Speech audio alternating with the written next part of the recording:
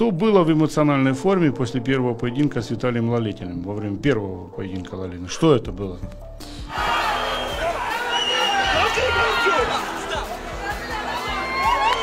Во время первого поединка, когда мы э, зарубились, э, э, один момент Виталий выкрикнул мне Камарджоба.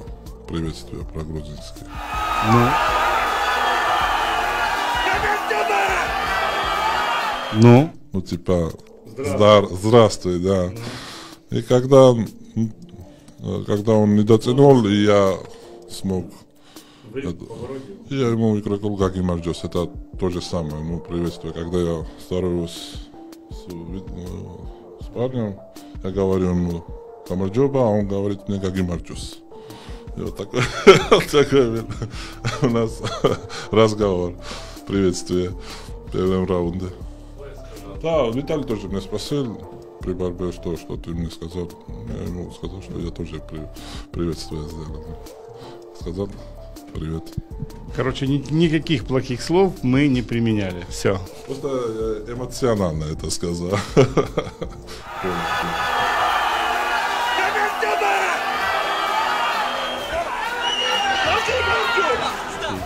Видно было, что ты очень сильно перенервничал. И этот стресс, вот это нервы, прямо было уже видно потом на сцене, когда мы надевали на тебя поезд.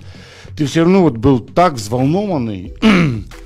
Э, Сразу же видно было, что отражалось именно вот этот стресс в первом поединке. Что случилось в первом поединке, чему тебе, не знаю, не хватило или чего не ожидал, да, от э, Виталия Лалитина? Ну, случилось то, что ожидал. Ну, старт, стартанул, я пытался удержать.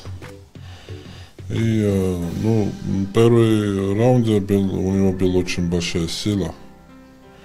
И, ну, я передерж, передерж- смог передержать его. Э, Ну, главное было, чтобы у меня плечо не раскрылся.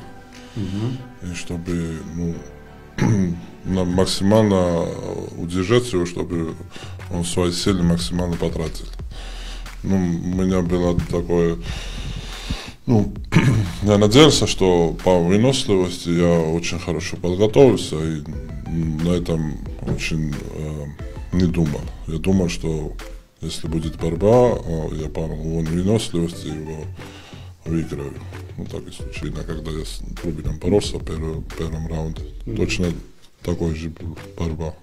Ну да, я со, с- свои, как поняли, сильные сто- стороны, так и слабые. Есть, есть на, на чего работать. Кто знает,